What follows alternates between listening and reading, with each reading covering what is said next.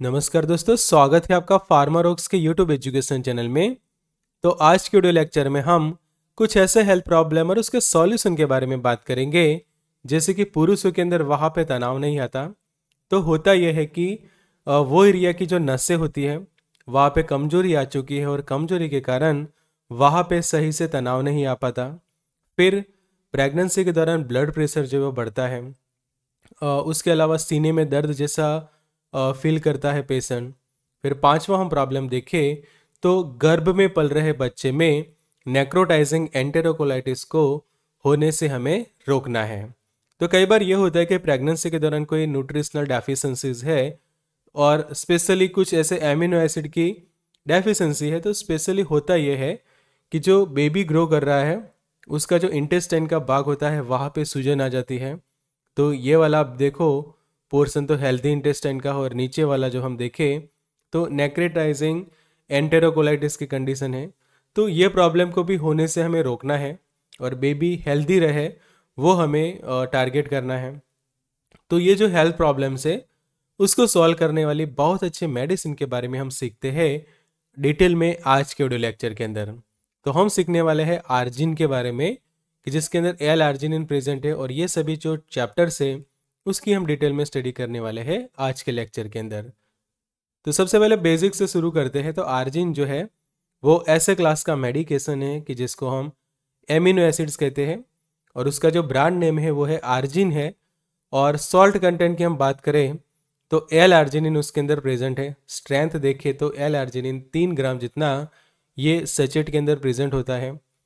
फिर उसके मैन्युफैक्चर की हम बात करें तो फॉर्ट्स इंडिया लेबोरेटरीज लिमिटेड, उसके मैन्युफैक्चर की जो एक इंडिया की leading pharmaceutical and nutraceutical company है, जिसकी हेड ऑफ़िस जो है वो चेन्नई में है। अब उसके यूज़ हम देखें तो जो एंजाइना की जो कंडीशन हम देखी पेरिफेरल आर्टरियल डिसीज़ ईडी का जो प्रॉब्लम होता है, फिर हाई ब्लड प्रेशर का जो दिक्कत आती है स्पेशली प्रेगनेंसी के दौरान तो उसको ठीक करने के लिए ये इसको जो है वो प्रिस्क्राइब किया जाता है। तो यहाँ पे मैं आपको वीडियो के बीच में बताना चाहूँगा कि ऐसे आपको अलग अलग बीमारियों के बारे में सीखना अच्छा लगता है, उनके रिलेटेड दवाइयों के बारे में सीखना अच्छा लगता है। तो हमारी जो बुक है, उसको आप ज़रूर से परचेस कर सकते तो ये जो बुक है, वो कलर वर्जन में अवेलेबल है, बीमारियाँ और उनका उपचार। तो इसको ज़रूर से आप परचेस कर सकते जिसको आपके कारण आप डिटेल में इसमें से बहुत सारी बीमारियों के इलाज के बारे में सीख सकते हैं। तो ये मल्टी कलर बुक को ऑर्डर करने के लिए आप हमें यहाँ दिए गए नंबर पे व्हाट्सअप कर सकते हैं। तो भी ऑफ़र में आपको, ये प्राइस में आपको बुक मिल जाएगी। टॉपिक पे वापस आते हैं। तो यूज़ में जैसे हमने देखा कि ईडी का जो प्रॉब्लम है, सीने में दर्द होना, फिर ब्लड प्रेशर का जो प्रॉब्लम है प्रेगनेंसी के दौरान तो ये सभी प्रॉब्लम्स को ठीक करता है। तब लेबल समझ लेते हैं। तो ये एक प्रिस्क्रिप्शन बेस्ड मेडिकेशन रहेगा खासकर। प्रिस्क्रिप्शन के साथ उसको लेना ज़्यादा बेटर रहता है बिकॉज़ जो अगर कोई हाई डोज में भी उसको यूज़ कर लेता है तो भी दिक्कतें आ सकती है। फिर ये ग्रेन्यूल्स के फॉर्म में अवेलेबल है, इसके जो पाउडर होता है, वो टोटल पाँच ग्राम पाउडर रहता है, जिसमें तीन ग्राम जो है वो एल आर्जिनिन है और बाकी के दो ग्राम जितने उसके अंदर एक्सीपेंट्स रहेंगे। तो यहाँ पे आप देख सकते हैं येलो कलर का पाउडर आएगा बिकॉज़ उसके अंदर sunset yellow F C F colour add किया गया है। सिर्फ़ ओरल यूज़ को यूज़ करना है। तो यूज़ कैसे करते हैं? तो मान लो कि आप ग्लास लेते हैं ग्लास में हाफ़ कप जितना पानी डाल देते हैं या फिर उससे थोड़ा ज़्यादा, और उसके अंदर ये पाउडर डाल के मिक्स करके पी लेना है। जैसे आप ग्लूकोज का पाउडर बनाकर पीते हैं, उसी तरह से ये आर्जिन का जो सचेट है, उसमें रहा जो पाउडर है, जो ग्रैन्यूल्स है, उसको आपको यूज़ करने हैं। अब बात कर लेते हैं कि ये जो है वो काम कैसे करता है। तो एल आर्जिनिन जब लिया जाता है तो बॉडी में जाके वो कन्वर्ट होता है नाइट्रिक ऑक्साइड में। कि जब आप उसको लेते हैं तो जैसे ही वो शरीर में जाता है तो एल आर्जिनिन नाइट्रिक ऑक्साइड के अंदर कन्वर्ट हो जाएगा।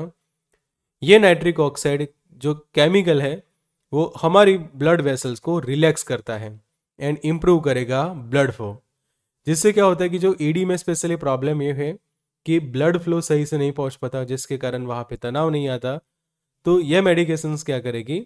ब्लड फ्लो वो एरिया में बढ़ा देगी जिससे आपका वो तनाव न आने का प्रॉब्लम सॉल्व होता है।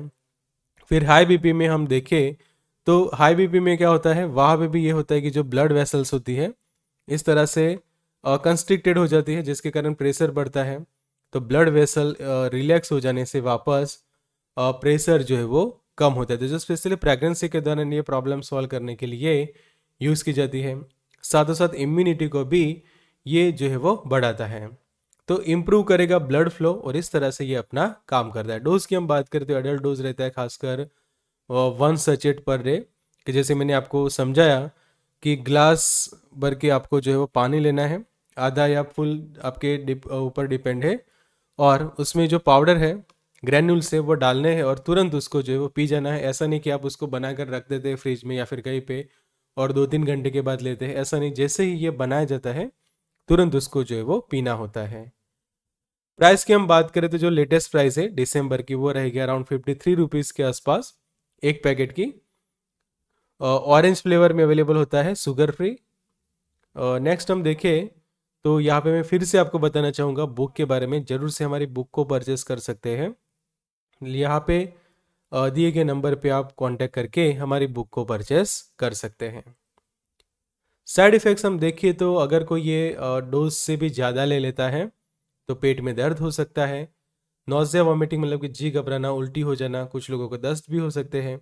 अगर काफ़ी हाई डोज में उसको ले लिया तो ब्लड प्रेशर काफ़ी ज़्यादा आपका कम हो सकता है तो वो ध्यान रखना है। पेट में गैस बन सकती है ब्लोटिंग जैसा फील कर सकते हैं।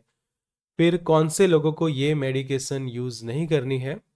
तो आपको मेडिकल हिस्ट्री रही है अस्थमा की गाउट की क्रोनिक लीवर डैमेज की किडनी डिसीज़ रीजन में किसी को हार्ट अटैक आया है ऑलरेडी ब्लड प्रेशर आपका लो रहता है हर पीस का कोई पेशेंट है हर्पिस वायरस इन्फेक्शन का तो वो लोग ये सचेट को कभी भी यूज़ ना करें आर्जिन को।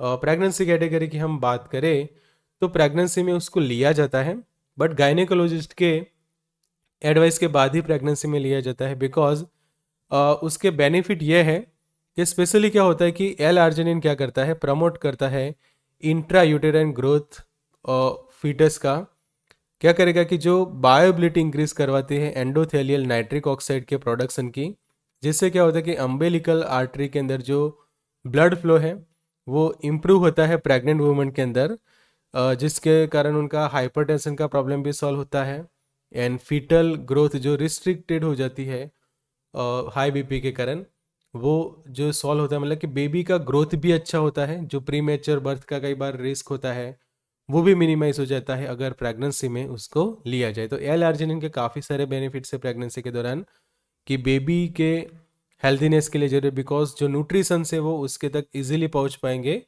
बिकॉज़ अम्बिलिकल कॉर्ड के थ्रू उसके थ्रू जो न्यूट्रिशंस पहुँचते हैं मदर टू बेबी तक, वो अच्छे से पहुँच पाते हैं ब्लड फ्लो के इंक्रीज होने के कारण। अब ड्रग ड्रग इंटरेक्शंस देखिए तो नाइट्रोग्लिसरीन अगर कोई ले रहा है तो उसके साथ कॉम्बिनेशन में यूज़ ना करें। फिर कैप्टोप्रिल कोई ले रहा है लॉसार्टन है डिल्टीजम एम्लोडिपिन फिर सिल्डाफिल ले रहे हैं तो उसके साथ इसको यूज़ ना करें, वरना भयंकर साइड इफ़ेक्ट्स जो है वो हो सकती है।